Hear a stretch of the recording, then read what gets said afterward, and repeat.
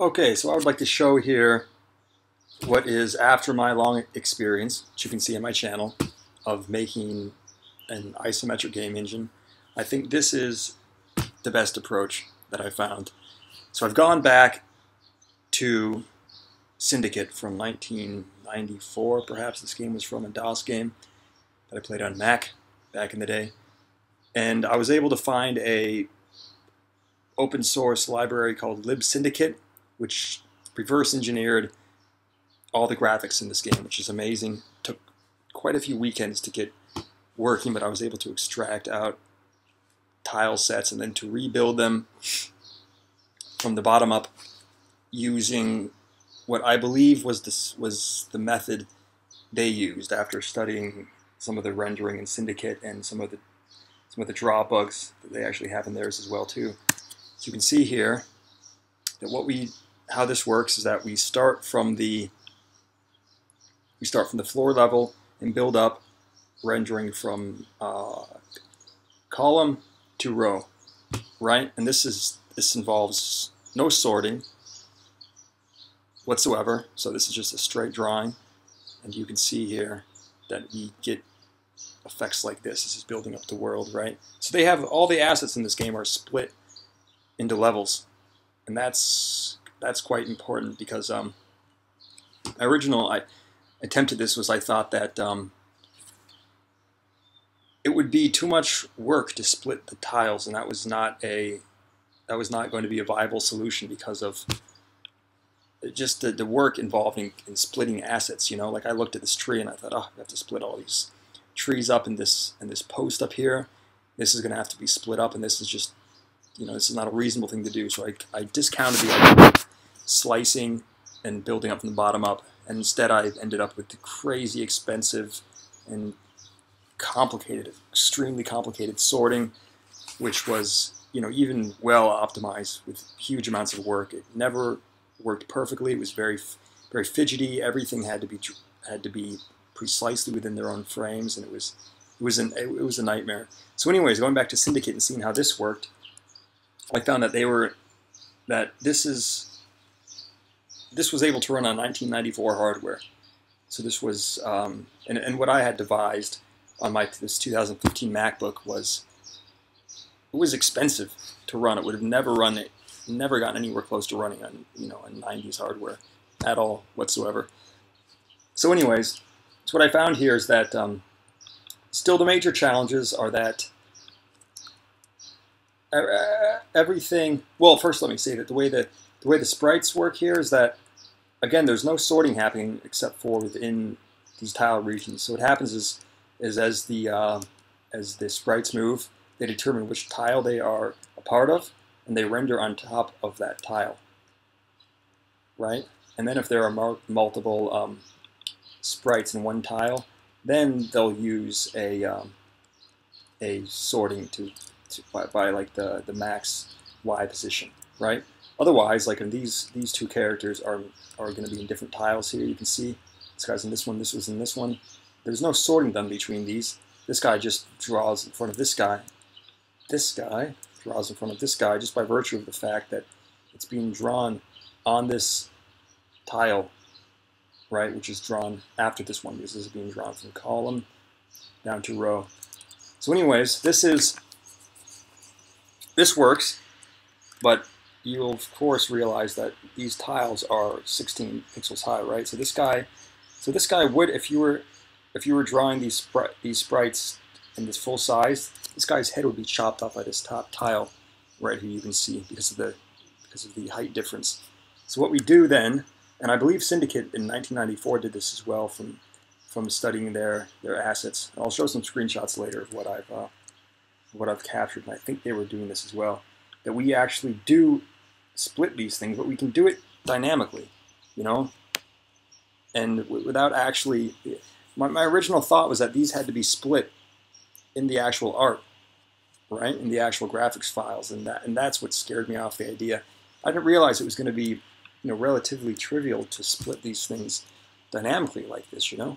And it was even easier back in the 90s on those hardware when you had like real direct access to all the pixels, your memory, you know, you didn't have to go back and forth between GPUs and stuff. But uh, so yeah, that's what that's what happens here. So you can see that um, this head's not chopped off because the top is drawn actually into the next into the, um, the the layer above it, right? So so this level is drawn like this tile, this tile, this tile, and then this bottom part of the sprite, and then you know then you get eventually up to the next level.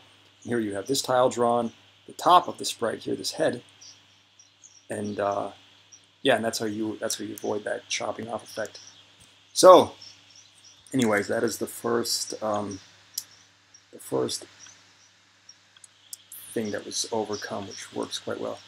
So, anyways, what, what we see here is when we the, the, the big challenge with these kind of games is that when you ascend up through levels, you have a problem because the way this is is working is that when you get onto the stair level, you're now in between levels essentially the sprite is, but you have to be drawn on top of the stairs, right? This is how you can pass between these two boundaries and not have this tile clip his feet because you're actually drawing on the level above, which is this level, right? So what happens here is if you have layers that are occluded, that occlude the stairs, the levels, you can see you get these these artifacts where his feet's being chopped off right there. And in fact, here's a here's another example of it that you can see walking up this level right here. As soon as you get onto the stairs, you have to draw on top of the stairs.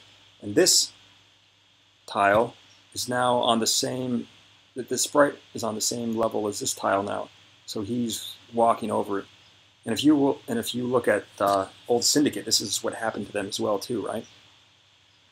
You can, yeah, you can see how that works yeah, there it's even more more noticeable. So here you're on the first level, and then you go up on the stairs, and you have to draw over it. So you know that's a drawing bug, and Syndicate just just dealt with it, and it gets it gets ugly too when you when you start walking up multiple levels like this, and you can see the guy phases through the through the top of this level here because it's because he's drawing on this on top of this level right here, right, which is which is this one, and um,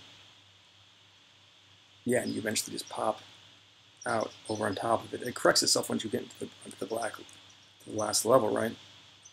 So, yeah, this is not great. So what I've done here, and this is, they could have done this in 1994, I think, pretty easily.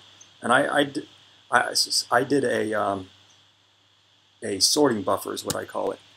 And this was done all, this is all OpenGL, right? So I have to have frame buffers that we draw into half of this of the scene, not half of the scene, part of the scene is is drawn um, twice, basically. And what it, what I do is I determine which tiles are occluding slopes, like these stairs, and then I draw these into a into a buffer, which keeps their sorting order into them.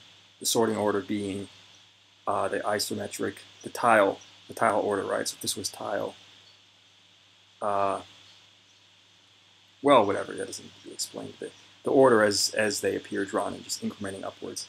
So this is what those, those colors suggest. And you could not do this. It's, there could be other ways to do this without frame buffers, which are, I don't know if that was the best way to do it or not, but since I'm working on OpenGL and there's, these things had to be, they were already being rendered through OpenGL, but you could put this into it like a pixel buffer too, I think, and not have to deal with all that complicated graphics library stuff, which is really not that much needed for this purpose. Anyways, though, so you can see this this visualization of it, uh, and I will hide that for now. Maybe I'll maybe I'll show it right now. So, anyways, what this does is that when I'm walking behind these tiles, now you can see that graphics, those glitches are fixed. And that's because we can now, for the for the sprites, the dynamic geometry, right? We we have to have two shaders here, right? We have a sorting buffer shader, and then one for the uh, dynamic geometry. What this does here is it's it's able to to sample into the sorting buffer and determine that this sorting level layer is uh, this sorting index is higher than the index of this sprite. So we can then just discard in the shader the fragment which is which is covered up basically, and it just and it performs a a masking effect. Essentially, is what happens here. So that so, that solved the, the remaining other complicated part of the of the problem, which existed, which they were not able to fix in the 90s with their their program. So you can see there that solved that problem as well too. If we take it off here, it's a little easier to see. So yeah, there we go. That's quite nice. Um, I think that's about the the extent of it. Um, yeah, it performs quite well. It's taking a, a bit of a hit right now, a couple milliseconds of this. You can see up there in the corner the the uh, time per frame. A couple milliseconds of that is the recording software right now that's really spinning up the fan. Otherwise, this uses hardly any CPU. The, the, the downsides of it are that it, it's, um, I don't want to say it's expensive, but it does involve some work to, um, when you move the players out determine which tile they're in and, and then split them across the levels, you know, that's, you know, still quite small. I haven't actually tested this with huge amounts of sprites. I don't, I don't know what would happen in that case. But these kind of games, you're never going to need massive amounts of sprites anyways. That's just, that's not a good fit for these kind of things in the first place. So I had to learn the hard way. Um, particles, again, you can't, the idea of having free floating particles is now a bit of a problem because it is it, it is an annoying kind of challenging thing to have to split everything into levels, right? As you go up, um, I think I actually showed that. You can show the split frames. As you go up levels too, this the split frame needs to needs to change accordingly. Otherwise, you would start getting all these crazy clippings.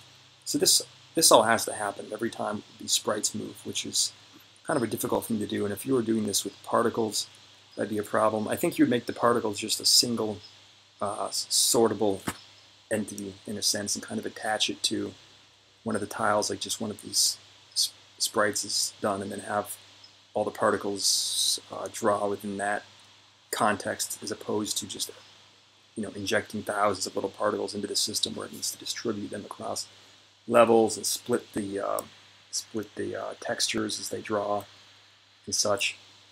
So yeah, we don't want to be doing that. But um, yeah, I, I would post the. I'm going to pull this out into a into an engine.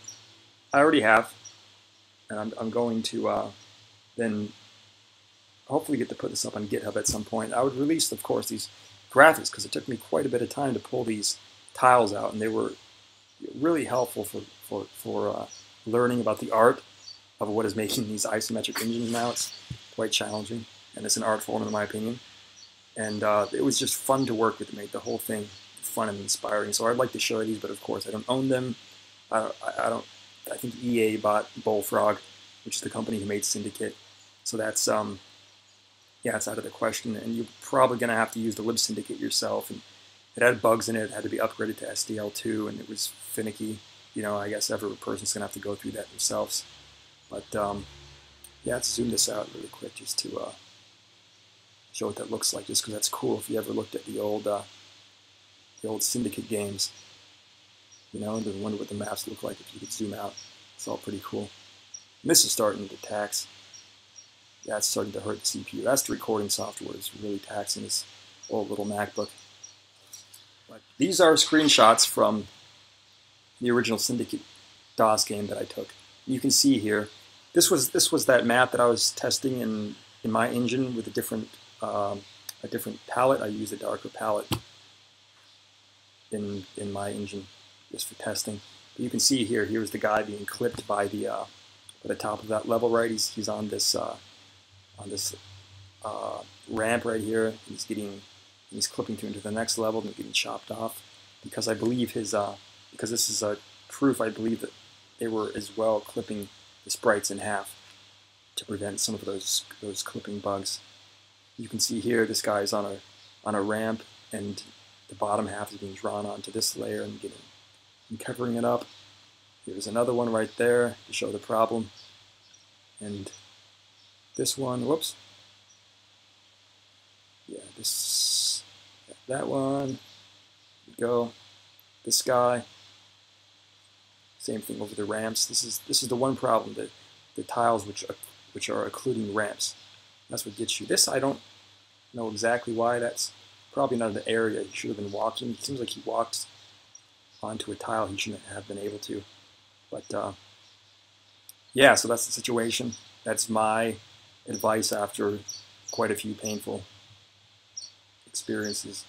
And that's what I'm going to be doing going forward. At some point, I'll get this up in GitHub and make a some Pascal, so hopefully it'll be understandable. But it will be, I think, a, a benchmark for what is a good baseline for an isometric engine. So we don't have to all be fighting this stuff in the future.